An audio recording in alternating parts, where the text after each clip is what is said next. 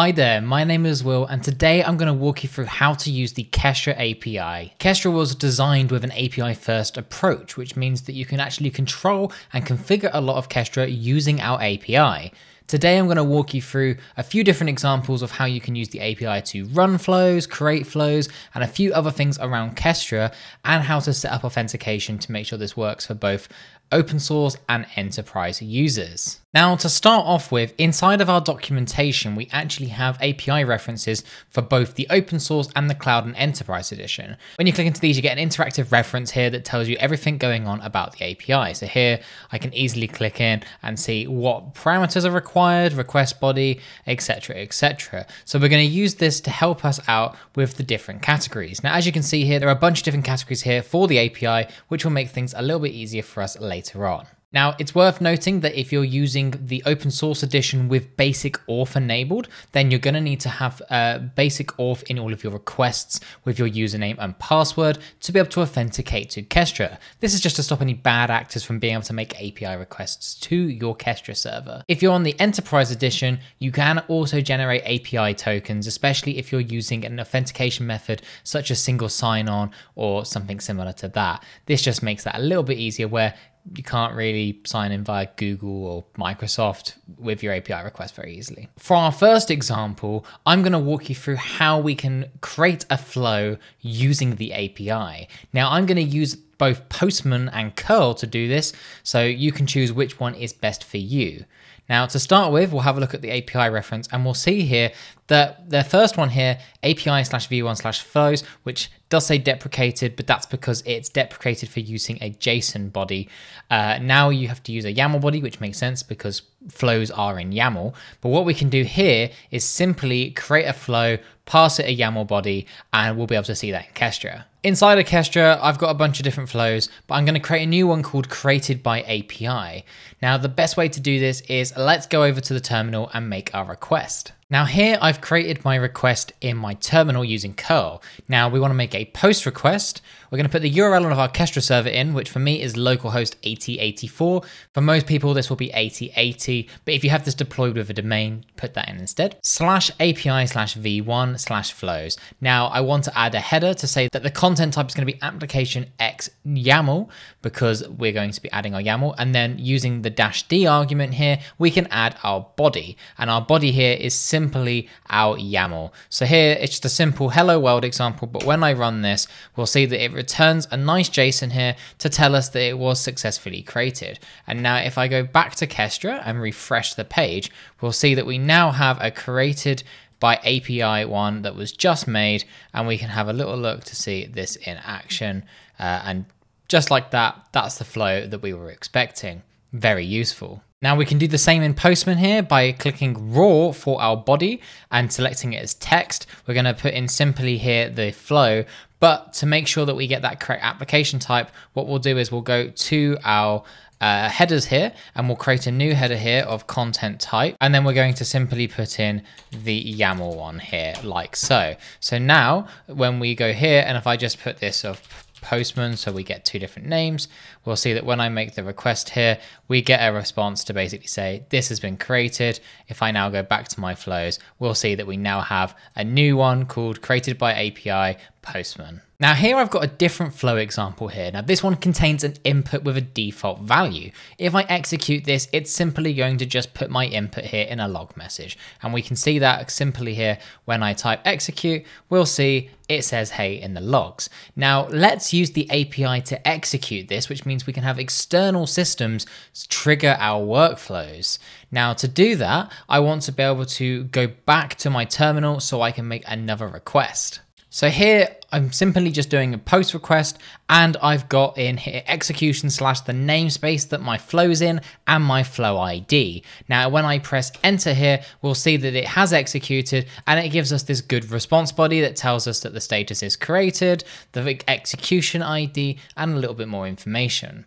Now, if we wanted to run this again, but instead by passing an input through, we can do that too by using the dash f argument. And before we do that, we can see that we were able to execute it here and we can see that it says, hey, but now we can do it again, but this time we can do it with an input of our choice. I'm going to execute this and here I'm setting our input greeting to hey there. So when I execute this, we'll see that now when I refresh this page, we'll get a new execution. I can go to logs and we can see that the input has successfully changed. So this is really useful if you've got an external system that you want to be able to trigger flows in And pass a bunch of inputs to get different responses. And here we can do the same thing inside of Postman, where it gives us loads of information about the status of our flow and the execution ID and a link to the execution too, so that we can go and view it.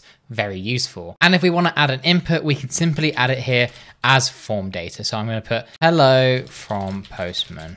So when I execute this and then we go back to Kestra, we can see here in the logs that it was able to get our input. Now let's say we've actually executed a flow, we've got the execution ID, wouldn't it be pretty useful to be able to get more information about that execution, especially once it has maybe finished? Now we can use the executions API path to be able to make a request specifically for executions and get a load more information that we were getting from the starting them. So let me take this flow ID and what I'm going to do is now open my terminal and I'm going to simply add my next request in. So here it's doing slash execution slash the execution ID. So when I run this, we get a really big JSON here, which is really hard to read inside of the terminal, but we can use Postman to help us visualize this. So here I've made the request in Postman, and as we can see, it's given us the history of the states of the execution. So we can see exactly when it was created, when it was running and when it succeeded. We can see it did all of that very, very quickly.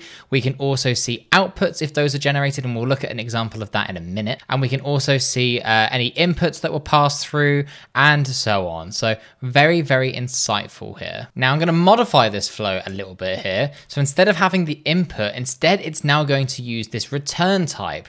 And the key thing about that is when I execute this, you'll see that the return type will give us a similar looking message to the log, but instead it generates it as an output. So now what we can do is when we fetch this execution ID from uh, the API, we'll be able to see an output inside of the response. So here, when I run this in the terminal, we'll be able to see in here that the output was successfully generated and we can see it right there in the middle. This is an output.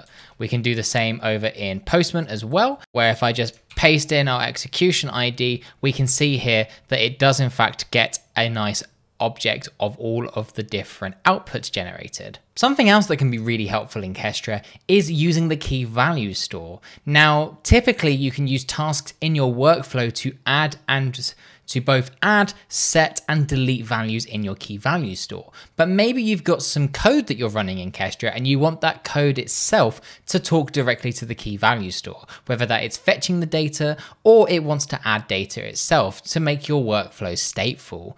Now, a good way to do that again is with the API. So to begin with, let's create a new key value pair inside of the store here, and then we can modify that and delete it. So here we're using a simple put request to be able to put a brand new key value pair here in to the key value store. And as you can see here, we are doing namespaces slash the namespace of the key value store we want to use, KV for key value, and then the key of it. So we're going to create a new one called my key, and we're going to put that inside of the key value store.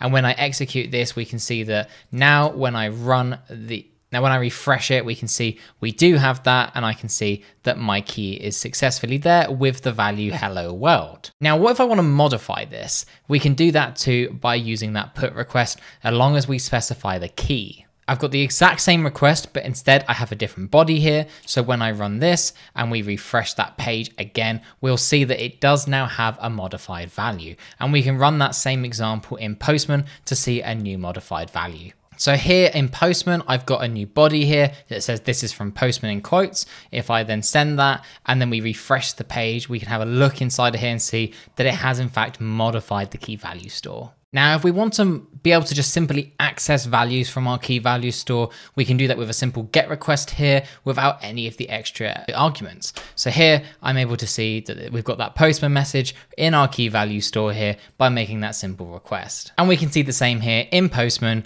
where we've got the type of the value and the value itself. Now, another cool thing about namespaces is you can have files inside of them. We often refer to these as namespace files, and these can be useful for being able to interact with your work workflows. In this example, I have a bunch of different code files and a bunch of other data files here, which workflows might use. Now, maybe I want to be able to access these files, and I can do that by using the API. Now, as you can see here in this example, I have five different example files. Now I can use the API to tell me what these files are, and then I can make an additional request to get the content of them. Let's have a look at that. Now, to begin with, I can do a simple get request here just to get the file directory, which will give me all the files in this specific namespace. And again, we're specifying that company.team one. And as you can see here, it's given me example.txt, example.js, and so on. And let's now do the same thing inside of Postman. And as we can see here in Postman, we've again got a list of all of these different files and we can see what file name they are, the size of them, uh, when they were modified and created. Now that we know these files, we can make an additional request now to be able to actually get the content of them. So let's use this example here to be able to get the content of example.txt and be able to get that from a request. So here we can simply just use the same path as before, but without the directories part. But now we're adding a query here with the file name, which is example.txt. And as you can see here, it just gives me the content inside, which is hello world. Let's look at this in Postman. And as you can see, we can demonstrate the same thing in Postman by simply adding a path query here and the name of the file. And I can easily modify this to be a different one. So let's do the JS one. We can see we've got the JS one there. I can also do the Python file. I can also do the Ion file as well. And so here is just a really easy way of being able to fetch that data, especially if you need to access some of that files from an external system. Fetching the files is great, but reality is you probably want to upload your files to Kestra so that you can then use them in your workflows. So let's have a look at an example where we can make a request to add a brand new Python file called API API example directly to Kestra. So here I'm making a post request. Now this post request here is again using the namespace as part of the API.